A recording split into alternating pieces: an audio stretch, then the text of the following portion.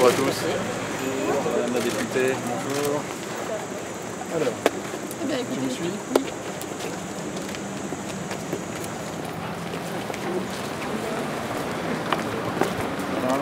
Je peux vous dire que la population vous est, dans son écrasante majorité, dans sa quasi-entièreté, totalement reconnaissante, et les enquêtes d'opinion le montrent à l'échelle nationale. Donc soyez fiers de ce que vous avez fait, soyez fiers de ce que vous faites encore, soyez fiers de porter vos uniformes, ils font la fierté de la nation. Oui, voilà. Pour ceux qui disent que c'est un acte politique, Donc là, ils ont cassé toutes les vitrines. Parce que vous, je, disais, je disais à Emmanuel tout à l'heure que vous de mémoire, vous avez recruté assez tôt un vigile déjà la journée pour sécuriser la rue euh, et les boutiques. Je dis pas de bêtises, que j'étais. Euh, le vigile, on l'a vu vers Alors nous, en temps normal, nous avons un vigile tous les jours. Ouais, c'est ça. Donc, euh, mais quand on nous a alertés à, aux alentours de 17h, on a fermé euh, directement euh, les boutiques pour protéger les salariés. Et euh, ensuite, tout s'est enchaîné. Et voilà, ils ont visé, détruit euh, tout à l'intérieur, ici et ici. Excusez-moi, Je suis, je, suis venu, je suis venu ici à Grenoble. Il y a 40 et quelques magasins qui sont dans votre situation. On va suivre avec le préfet et je vais suivre aussi personnellement la situation de chacun de ces magasins. D'accord?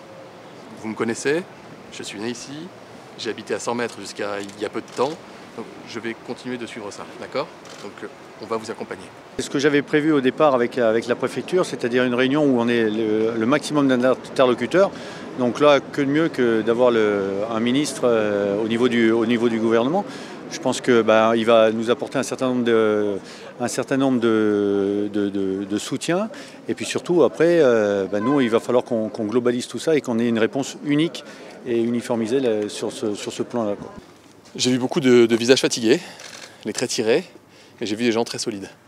euh, qui font le constat, d'abord qu'ils ont été solidaires les uns avec les autres. On le dit peut-être pas assez. Mais des policiers, des gendarmes qui sont revenus sur leur congé, qui sont revenus sur leurs vacances, euh, qui se sont mobilisés, euh, qui ont travaillé les uns avec les autres en coordination. La police, la gendarmerie, tout le monde main dans la main, les pompiers. Ils ont été attaqués, les pompiers m'ont montré des cailloux, des photos de cailloux qu'ils ont reçus. Euh, Quand on dit des pompiers se font caillasser, il faut savoir que parfois c'est des cailloux qui, peuvent tuer. Ils en gardent euh, une incompréhension parce qu'ils sont là pour assurer, la sécurité dans la cité, éteindre des incendies. Certains ont été appelés dans des guet-apens sur des soi-disant feux de poubelle pour euh, être mieux caillassés et mobiliser inutilement les, les moyens de sécurité. Ils ont fait face avec courage, avec détermination. Je crois qu'ils ont le droit à nos respects, à notre respect tous, à tous. Ils ont droit à nos remerciements et pas à certains procès qui sont intentés par les uns euh, et par les autres. Ils disent tous qu'ils n'ont pas envie que ça recommence. Ils restent très, mobilisés, très mobilisés et très motivés. J'ai ensuite vu des commerçants, des boutiques à Grenoble, euh, qui ont été dévastées, pillées. Il n'y a pas d'autre mot, vous rentrez, il n'y a plus rien. Il n'y a même plus les mannequins de présentation des vêtements. Tout a, tout a disparu. Vous avez des grilles qui ont été défoncées. Vous avez encore le verre par terre de la porte euh, qui a été saccagé.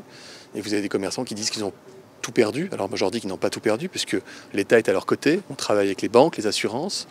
Euh, Ils ont un préfet euh, à la relance qui est dédié ici euh, pour pouvoir accompagner chaque commerçant individuellement pour faire en sorte que leur outil de travail puisse être à nouveau mis en état de, fonctionner le plus vite possible. On n'abandonnera personne. Puis après vous, je vais aller voir les, maires de toutes les communes. Il y a une vingtaine de communes en Isère qui ont été touchées par des incendies, par des violences, pour leur dire aussi qu'on est, qu'on est à leur côté, que c'est la raison de ma présence aujourd'hui. Oui, il a un de, un concert de métro.